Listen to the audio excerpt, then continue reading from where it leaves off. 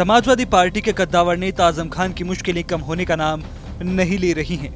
गुरुवार को income tax ने आज़म खान और उनके करीबियों पर रेड मारी। रामपुर में आज़म की कोठी पर छापा पड़ा। इसके अलावा मेरठ, गाजियाबाद, सहारनपुर, सीतापुर, लखनऊ में भी रेड मारी गई। आज़म खान के घर आयकर विभाग की छापेमारी दूसरे दिन भी जारी है। आयकर अधिकारियों ने रात भर आज़म खान के घर छानबीन की। देर रात में कई अधिकारी घर से निकले तो उनके स्थान पर दूसरे अधिकारी पहुँचे।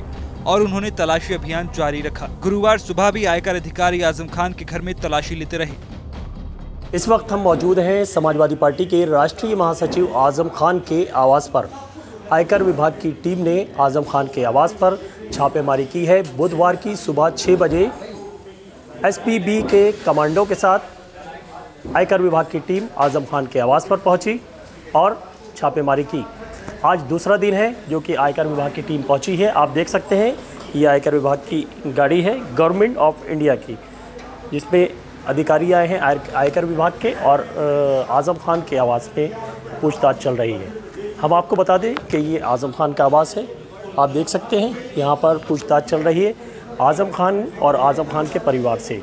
आज़म खान की पत्नी डॉक्टर तंजीम फातिमा, अब्दुल्ला आज़म खान, अदीब आज़म खान और साथ ही आज़म खान के करीबी चमरवत के समाजवादी पार्टी से विधायक, नसीर अहमद खान के आवास और उनके फार्म हाउस पर, आज़म खान के मोहम्मद अली जौहरी यूनिवर्सिटी पर, आज़म खान के हम सफ़र रिजॉर्ट पर। ये छापेमारी आयकर विभाग की है। दो दिन से जो कि छापेमारी चल रही है। आयकर विभाग की टीम ने अभी कुछ बताया नहीं है कि किस तरह की छापेमारी है, क्या निकला है अंदर। फ़िलहाल ये छापेमारी चल रही है, जो कि दो दिन से जारी है।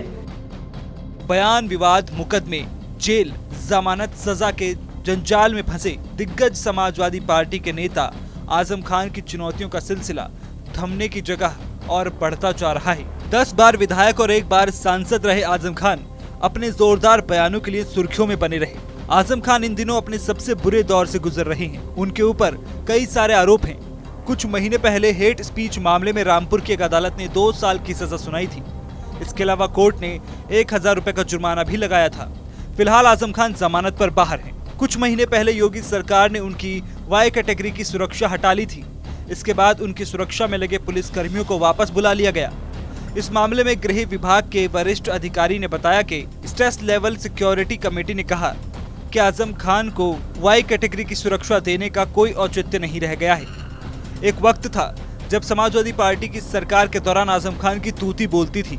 लेकिन जब 2017 में समाजवादी पार्टी सत्ता से बेदखल हुई तो आज़म खान के बुरे दिन भी शुरू हो गए।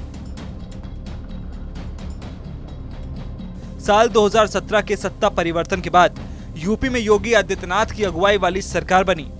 तब से ही आज़म खान की मुश्किलें काफ़ी ज़्यादा बढ़ गई हैं।